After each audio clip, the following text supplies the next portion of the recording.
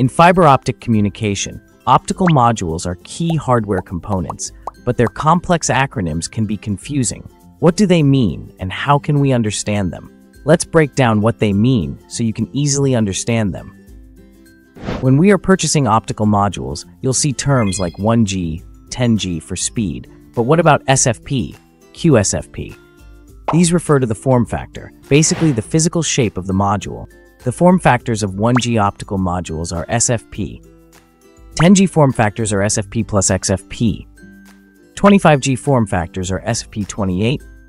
40G form factors are QSFP plus.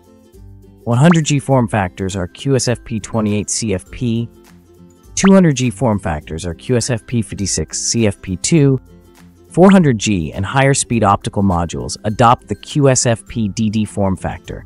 These are the more commonly used form factors. Different package types correspond to different switch port types.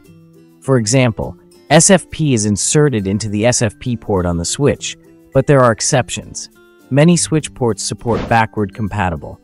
For example, the SFP module might work in the SFP Plus port, or the QSFP Plus module in the QSFP28 port, depending on the compatible type of the switch. So, in addition to the form factor, what about acronyms like SX, SR, LR? This refers to the transmission distance. For example, for a 1G SFP optical module, SX refers to a transmission distance of 550 meters, LX refers to 10 kilometers, EX refers to 40 kilometers, and ZX refers to 8 kilometers. In a 10G SFP Plus optical module, SR refers to a short distance optical module with a transmission distance of 300 meters. LR refers to 10 kilometers. ER refers to 40 kilometers. And ZR refers to 80 kilometers. If it is a 40G, 100G optical module, LR4 refers to a transmission distance of 10 kilometers and ER4 refers to a transmission distance of 40 kilometers. Why do they add a 4 at the end? Because it is 4 channels. 40G can be divided into 4 10G channels, and 100G can be divided into 4 25G channels.